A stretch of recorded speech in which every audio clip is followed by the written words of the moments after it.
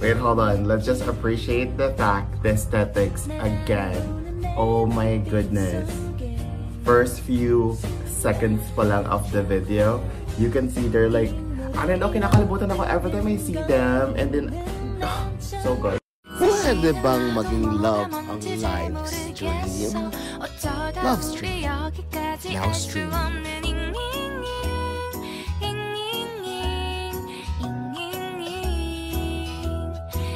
비동사 플러스 ing LOV를 붙여보면 사랑인 것 같고 Say goodbye를 붙여보면 헤어질 것 같아서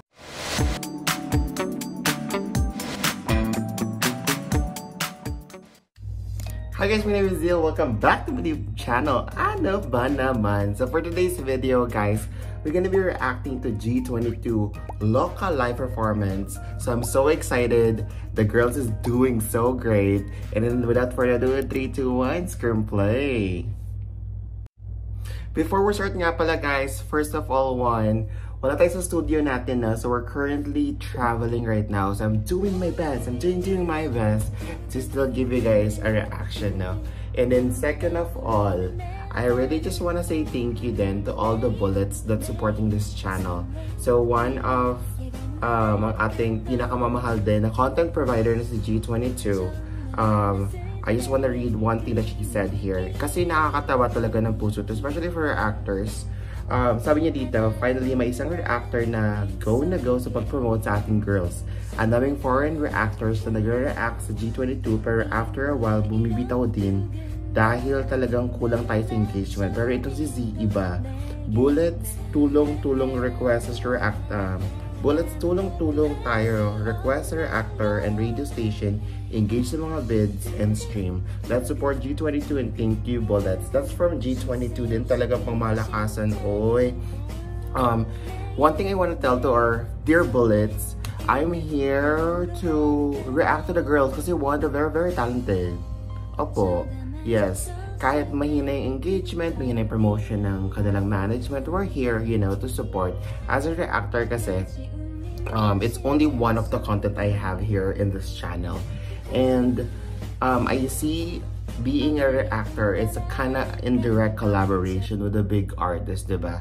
I watch their video, I get some content from it, but in the same time, it's one of those na parang we pick what we watch and then Bullets are, or G22 is one of those P-pop artists that A, they're not being pushed by the management too much.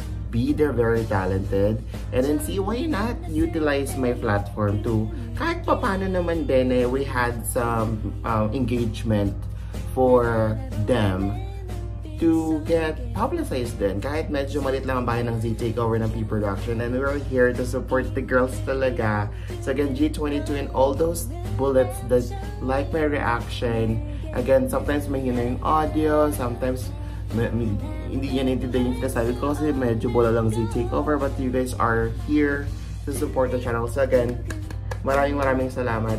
And a disclaimer alert, any any videos that have or we react for P-pop or any genre, nakaka-copyright po kami, no? So, kapag medyo mahina yung audio or tinatakpan namin ng iba-ibang logo yung video, we're trying to avoid yung copyright.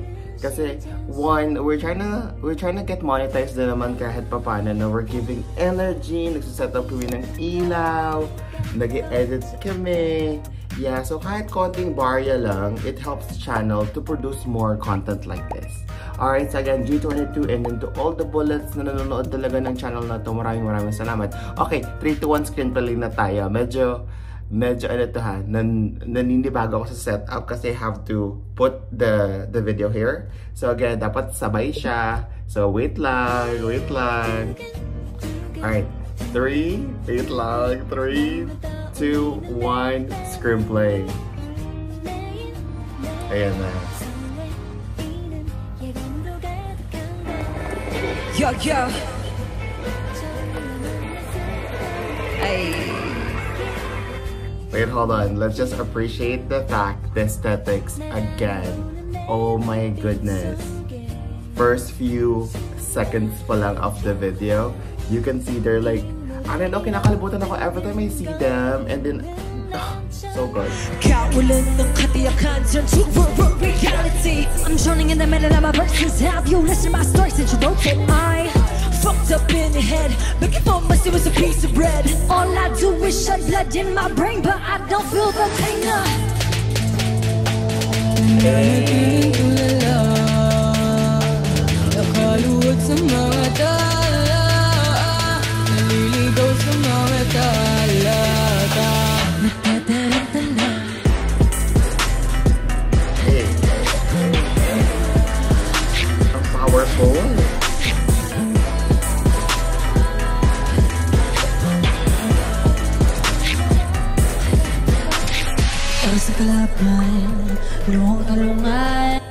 Yo, okay, so their aesthetics, one, awesome. Two, yung production, it's very minimal. Parang isang LED lang, small studio setup, but it's their talent. Oh my god. It's their talent. G22 talaga iba. Sexy. Kamatayan Huminga malalim baka di ko to kayanin Binitao mga lirik ko sa utak kasitado Tuwang delikado Huwag iyaanap naman o huy huy sa lolo Kung magpapain sa bulungan ako sa lupa baka matuluyan ang panig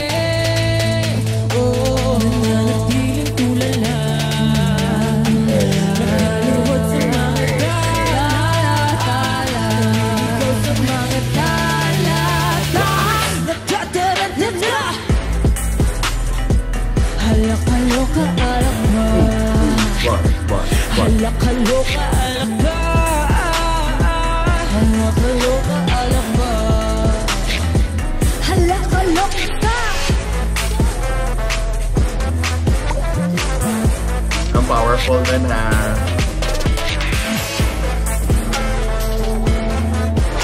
Oh wow.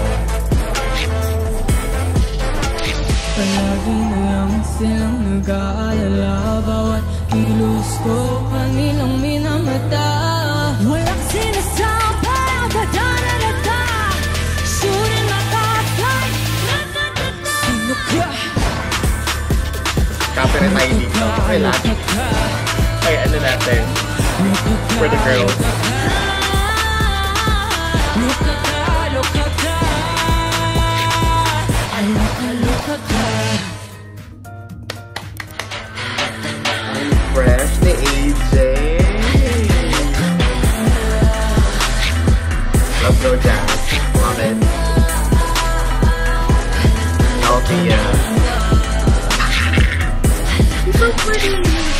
kalaban Lungong kalungan Guys, that is their performance. Alright. Nakapag-move on na ba ang lahat? Nakapag-move on na ba ang lahat? Ang masasabi ko lang sa performance na yun, grabe. I really remember SB19 when they're performing, uh, performing on their beginning of their career and it really reminds me of G22. From the dedication to their craft na kahit it's a small venue, they're still giving their 100%. I'm not sure how many takes it took, but they're still glam and so pretty. So I think it's my first time actually hearing this song. It's um so Loka is giving me it's a, obviously it's a rap song. Pero nakita mo yung vocals nila, it changed. Like it's very deep than their typical. I like my G22 with the Musica 5, their ballad, because they have that, they're really good in that genre.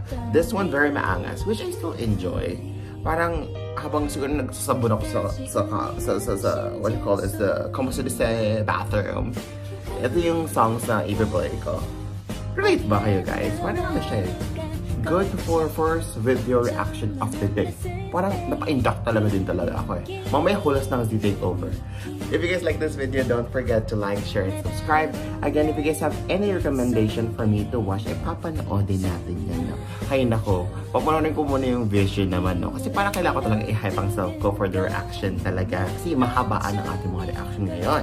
Alright guys, don't forget that the universe for today is gonna be a good day para bumping energy again again. Your life matter, my life matters. Continue praying for world peace.